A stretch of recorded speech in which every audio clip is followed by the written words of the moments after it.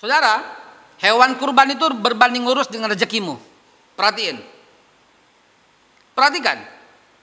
Antum yang mengeluarkan hewan kurban, lihat satu tahun pendapatan antum lihat. Lihat satu tahun rezeki antum lihat. Bukan mau hitung-hitungan sama Allah bukan. Tapi lihat sendiri, buktiin sendiri. Buktikan sendiri baru berasa. Antum yang tahun ini nggak ngeluarkan sama sekali padahal punya duit, lihat bagaimana setahun ke depan hidup antum coba lihat. Jangan macam-macam. Ya. Ini Indonesia ini gara terpuruk ya di antara para pejabatnya yang khianat, di antara orang fukoroknya yang nggak sabar, di antaranya orang kaya yang pelit, ya kayak begini, di antaranya ulamanya yang su. Nah ini salah satunya ini orang kaya atau orang mampu yang nggak mau mengeluarkan. Ya, handphone bisa berjuta-juta, tapi hewan kurban nggak bisa. Padahal cuma satu juta tujuh ratus lima puluh ribu dapat kambing yang cakep banget. Di kampung lagi di desa lagi. Kirimkan ke Almarkas misalnya ke tempat Habibana Habib Rizik. Itu di kampung itu loh buat orang-orang desa itu. Saya juga ikut ke sana. Kirimkan ke pesantren-pesantren. Transfer. Pak tolong dipotongin ya pak buat kambing buat anak-anak pesantren. Masya Allah. Ya? Oh iya saya belum lagi. Belum yang di Palestina belum yang di Palestina kami menyumbang 15 ekor juga untuk saudara-saudara yang tinggal di Palestina ya, Alhamdulillah jadi 30 ekor tuh kambing Alhamdulillah ya Rab Alhamdulillah semua Alhamdulillah sebagian juga amanah orang jadi jamaah sekalian hati-hati dengan ini ya tolong nih tolong banget sebelum dimulai nih. Penting saya ngambil waktu 5 menit untuk ini. Ya Ustadz bagaimana nih? Saya ada nih tapi udah terlanjur. Sekarang udah nggak hari udah lewat hari tasyrik. Tasyrik itu 11, 12, 13 Zulhijjah ya. Sekarang udah 15 Zulhijjah nih. Selasa. Senin kemarin oh masih Senin ya. Senin masih. Sekarang tanggal 14 Zulhijjah Selasa. Udah lewat hari tasyrik. Ya udah lewat. Jadi udah terlanjur udah enggak nih bagaimana? Astagfirullah, nggak bisa ngomong apa-apa. Yang penting istighfar pada Allah dan nazar. Duitnya jadi ke mana-manain. Nazar buat potong hewan kurban tahun depan. Jadi ke mana-manain, pegang tuh. Jadi tahun depan ente utang dua ekor, tiga ekor minimal gitu loh. Mari kita hitung-hitungan coba. Saya katakan kalau ini benar pengelolaannya dan pemerintah kita begini sih. Nggak ada yang ngaturin bagaimana sih? Mulai nih, mulai. Nggak ada yang ngaturin. Kalau ada yang ngaturin Pak, 269 juta orang di Indonesia. 269 juta orang di Indonesia ini, menurut BPS terakhir ya, bulan April, bulan Maret, itu data yang miskin itu 26 juta orang doang. Berarti yang nggak miskin berapa? 245 juta orang nggak miskin. Coba. 245 juta orang nggak miskin. 245 juta orang ini Muslimnya berapa? 80 persen. Kali 80 persen berapa? 245 kali 8 berapa?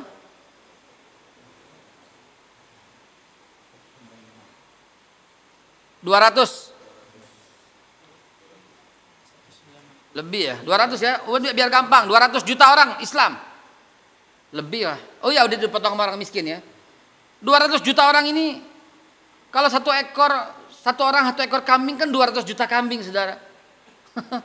200 juta kambing coba bayangin.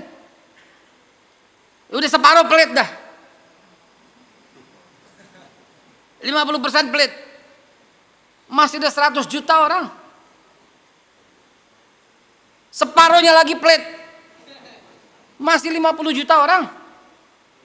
50 juta orang. Satu ekor, eh, satu orang satu ekor ada 50 juta kambing. Saya juga bikin kornet dari kambing, ya. Satu ekor kambing yang ukuran biasa gitu ya, yang sedang itu bikin dapat 60 kaleng kornet. Ukuran 200 gram. Ya, ukuran 200 gram yang segini. Dan itu bisa bertahan selama 2 tahun. 50 juta ekor kambing, satu kambingnya 60 kaleng kornet. Satu, sekali musim hewan kurban berapa? 5 kali 6 3 miliar kaleng kornet bagi-bagi deh orang miskin coba ayo kalau dikelola dengan baik bagi-bagi orang miskin yang miskin tadi 26 juta 3 miliar bagi 6 juta bagi 26 juta orang berapa kan lebih dari 100 kaleng kan? Iya kan? Kalau 30 juta aja baru 100, 100 kaleng kan per orang kan? Kalau 26 juta 110 ya betul nggak? Betul ya? 110 kaleng per orang.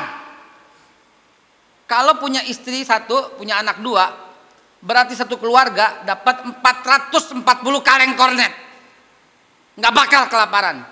Belum habis dimakan, udah masuk hewan kurban, musim hewan kurban tahun berikutnya. Belum habis, dapat lagi. Belum habis, dapat lagi. Belum lagi kalau dikelola dengan baik. Zakat fitrah, zakat mal. Coba. Emang mesti ada satu orang menteri nih, menteri urusan hewan kurban. Ntar punya punya wakil menteri, menteri urusan usus. Menteri urusan hati, kepala, kaki. Menteri urusan zakat fitrah mesti ada gitu loh, bukan urusan menteri agama doang. Mesti ini ada nih, kayak di ya Rob. Gue jadi presiden kali ini ntar nih anaknya. Jadi bagaimana ini mesti dikelola dengan baik dan profesional. Nggak ada orang miskin di Indonesia kalau dikelola dengan baik. Hanya dari hewan kurban doang. Coba lihat. Ya Rob, ini bagaimana kita ini bagaimana? Mudah-mudahan dari mimbar ini disebarluaskan ke seluruh media sampai terdengar oleh telinga Pak Presiden Jokowi. Kemudian Pak Presiden mengangkat uh, siapalah jangan gue. Amit-amit. Siapa kayak terserah. Ya kita cuma kasih masukan aja. Nggak miskin Indonesia. Ya di Aceh ada pengelolaan di Medan ada pengelolaan semua investasi itu. Bisa lah banyak orang-orang kaya mampu kok. Bagi hasil deh kalau kalau perlu. Ya, banyak pengusaha-pengusaha. Ya, di Malaysia saya pernah hadir waktu ada menjajaki usaha susu kambing itu hewan kambing yang banyak susunya masuk pabrik ya langsung disedot oleh mesin keluar susu bubuk sasetan langsung. Itu di eh, di mana? Di Johor. Langsung keluar. Dengan varian rasa vanila, stroberi dan sebagainya. Dari dari kambing kambingnya udah embe embe embe masuk di tep tep tep ke susu keluar keluar itu langsung udah susu bubuk kita juga bisa kambing masuk, kulitin, beresin, keluar kaleng kornet. Bisa. Rumah zakat bikin. Ya. Coba ini mesti dikelola dengan baik dan profesional. Kagak ada orang miskin di Indonesia. Itu saya ada korting tuh ya dari 200 juta, separuhnya pelit, tinggal 100. Separuhnya lagi medit. Tinggal 50 dah, dah. Satu orang, satu ekor doang. Padahal banyak satu orang mampu ada yang 10 ekor, 30 ekor alhamdulillah saya alhamdulillah rabbil alamin. Ya, coba. Apa jadinya coba Indonesia kalau begini? Nggak ada orang miskin, Saudara.